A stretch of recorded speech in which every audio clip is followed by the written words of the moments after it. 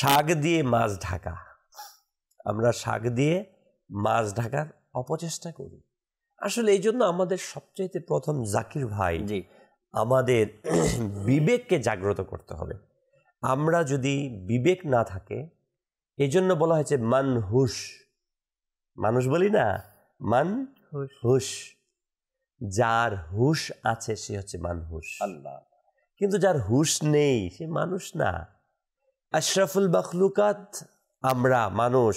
আবার এই মানুষকে বলা হয়েছে এরা চতুষ্পদ জানোয়ার। বলে না না ওই চতুষ্পদ জানোয়ার চেয়ে তিনি নিকৃষ্ট যখন আমার আপনার আকল খাটিয়ে এটা লজ্জা এটা বেহায়া এটা অপরাধ এটা অন্যায় এটা অবিচার এটা মিথ্যা এটা গিবত বাঁচতে হবে।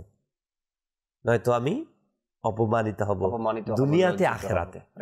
এই বিবেক যখন আমাদের জাগ্রত থাকবে না বিবেকটা মরে যাবে আমার আকলটা মরে যাবে চিন্তাশীলতা আমার থাকবে না তখন আর আমি মানুষ না।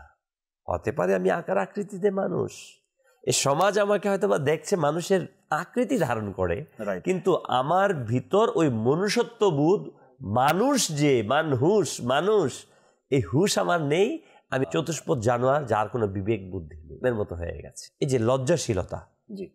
এটা একটা মানুষের সৌন্দর্য ইসলামের সৌন্দর্য। লজ্জাশীলতা আর এই লজ্জা যখন না থাকবে আমার দ্বারা এই সমাজে যেই কোনো কাজ করাই কিন্তু সম্ভব। আমি মিথ্যা অনায়াসে বলব আমার লজ্জা নেই। আমি গিবত করব চুগুলখুরি করব চুরি করব ডাকাতি করব। টোটাল বিষয়টাই কিন্তু আমার কাছে কি হবে? লজ্জা। এই হায়া আমার কাছে না থাকলে। আমি মাদানী চ্যানেলের দর্শক বিন্দুকে অনুরোধ জানাব যে বিষয়টা আমাদের নেওয়া হয়েছে। যে অনেক কাজ করি যার কারণে আমাদের লজ্জিত লজ্জিত হতে